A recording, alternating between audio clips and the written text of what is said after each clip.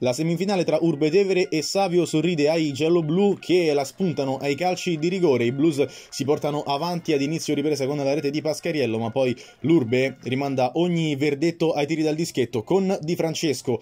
Si rende in più occasioni pericoloso il Savio, prima con questo diagonale di Mancini, poi De Lorenzo poco più tardi ha l'opportunità di calciare da fuori di poco alta la sua conclusione. Risponde l'Urbe Tevere, discesa sull'out di sinistra di Capitan Mariani che poi mette questo pallone in mezzo. Trova Concetti ma cicca la conclusione il numero 9. Ancora quindi il Savio a farsi vedere in avanti.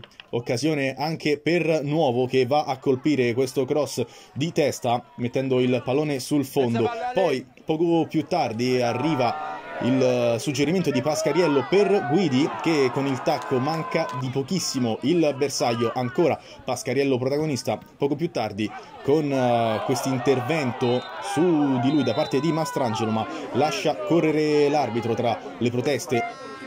Ad inizio secondo tempo l'Urbe Tevere va sotto, guadagna fallo Pascariello, poi palla in mezzo, arriva proprio al numero 10 che stoppa e calcia infilando Mastrangelo e firmando l'1-0 per i suoi.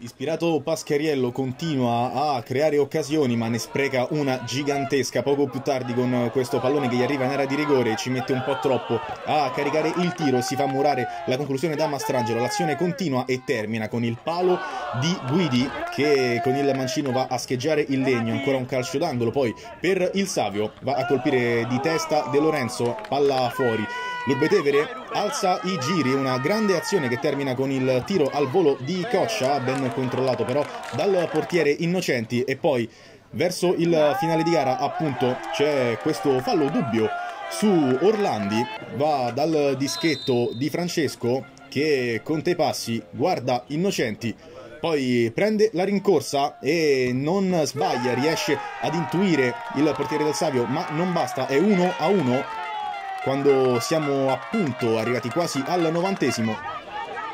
Quindi verso il triplice fischio c'è un'ultima opportunità dell'Urbetevere che reclama però un calcio di rigore per questo intervento su Befaro. Lascia correre però il direttore di gara. Si arriva quindi ai calci di rigore. Resta in campo la formazione di mister Mussoni mentre Bolic chiama i suoi negli spogliatoi per organizzarsi il primo a presentarsi dagli 11 metri è Di Francesco che non sbaglia, va quindi a calciare per i Blues Felizzola che si fa parare la conclusione. Il classe 2007 di Vico riesce a portare i suoi sul più 2, calcia Esposito e calcia male, calcia alto lasciando il 2-0 all'Urbe. Sbaglia però anche Ferretti che mette il pallone all'incrocio dei pali, poi De Lorenzo riesce quindi ad accorciare le distanze, si presenta sul dischetto anche Coccia che riesce a spiazzare Innocenti, quindi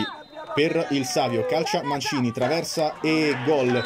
Befaro si incarica della battuta dell'ultimo calcio di rigore, quello decisivo, guarda il portiere, poi scarica un mancino potente alla sua sinistra, è l'Urbetevere a festeggiare la vittoria in semifinale. I ragazzi di Mister Mussoni andranno a giocarsi il titolo Elite contro la Vigor Perconti il prossimo 21 maggio.